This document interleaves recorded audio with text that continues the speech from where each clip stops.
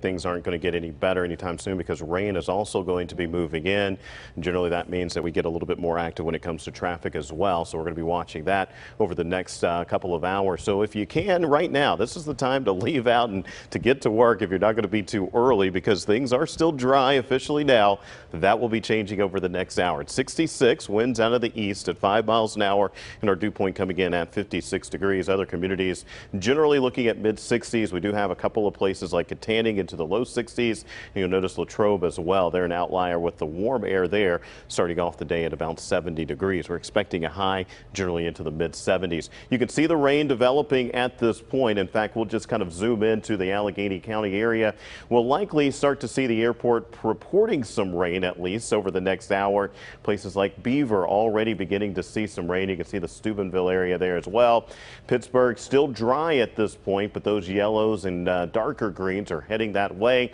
Maybe a couple of sprinkles around the city. West Deer also continuing to see some rain this morning. So we'll continue to monitor things there over the course of the morning hours. Why are we seeing this? Well, we have a broad area of low pressure that's going to track just off to our north, and that will bring in the rain. Now you're saying, well, it doesn't look like a lot of rain. You can see it right there.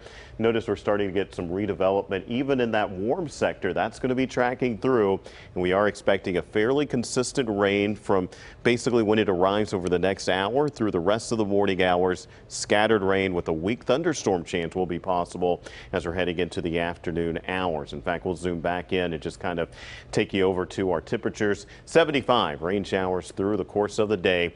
Best chance, though, will be before 7 o'clock. You can see that rain moving in there. Temperatures generally into the 70s to the 60s over the course of the day.